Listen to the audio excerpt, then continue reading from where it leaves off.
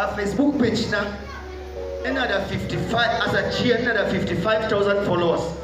anything that I